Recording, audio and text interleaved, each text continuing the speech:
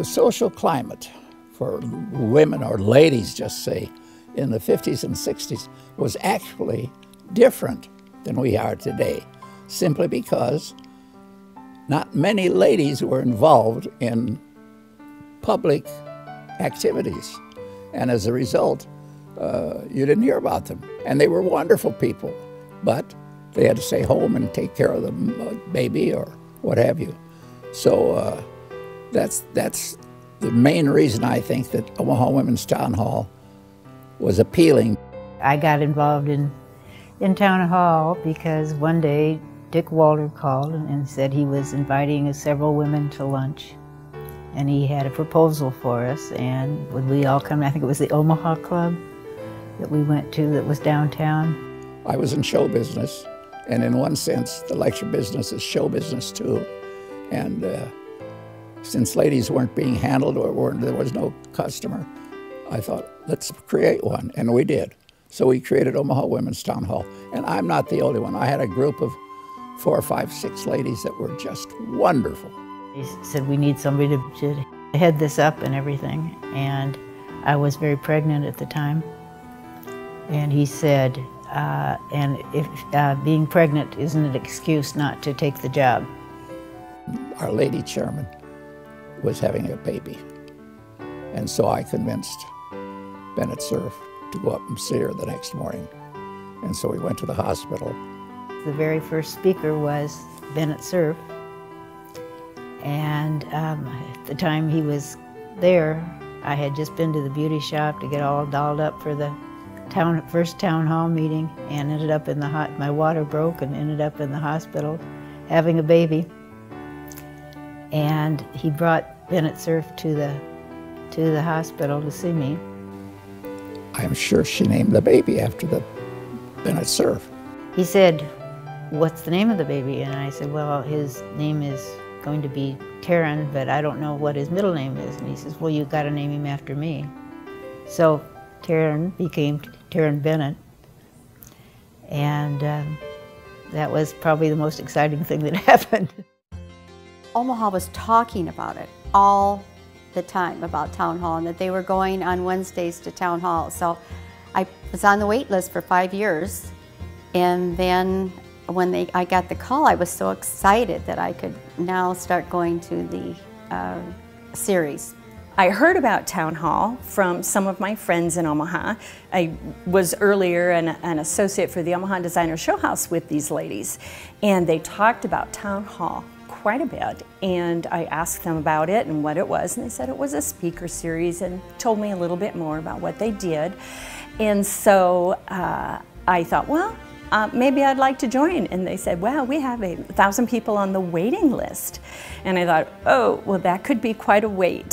so I didn't get involved at that time. But then um, several years later, some friends in Council Bluffs uh, mentioned it and said, well, let's get on the waiting list. So we all did, and sure enough, eventually we did get in, and that's when I got involved and, and joined it, and uh, I've just thoroughly enjoyed it ever since.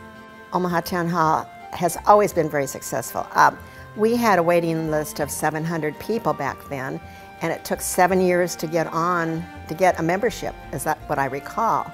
So um, once you bought a membership, you didn't really sell it. You sold it to somebody else to go a particular time, but they were a very, very wonderful item to have. the only thing I'd have is sometimes people would call me and want tickets, and I couldn't give them to them because we were sold out and then they'd get a little teed off with me. Well. The impact I think Town Hall has made on our community is I think it's brought in a wonderful, affordable lecture series to Omaha. And four times a year, people get to come and hear four great speakers. And our tagline is to inspire, to inform, and to keep in touch with the world. And I think we do a really good job at that. The greatest impact, I think, has been that, that it gives people a chance to see these celebrities and these interesting people that can come into town and, and uh, talk on so many different subjects. These ladies were getting exposed to something that they didn't get at home or anyplace else. And that's what's so necessary. Every one of us need to have a change of pace. After I joined, I found out how diverse the speakers were. It, it amazed me how many of them I didn't even recognize their names. But when I went to the lecture, I learned so much and enjoyed the, the different types of speakers that they had from entertaining to educational to political. The thing that amazed me was a lot of times the people who I didn't recognize were the ones I enjoyed the most. I got in town hall because I've always been interested in listening to speakers from other places, other countries, and this was an opportunity to have that in Omaha. And um, I just always was interested, so I got a ticket and I started going, even when my children were little. The speakers are also very diverse, and that's good. And so that you can't say, well, they always just have conservative speakers here. They're not. They're very diverse and they're all very interesting. And um, I think it's a, it's a good share for both the speakers and for the members. I want to thank the people that were the original founders or the original group that got this together because you look back in 50 years and you look at all the speakers they've had and what an opportunity it's been for people in Omaha to have these people come to Omaha and speak.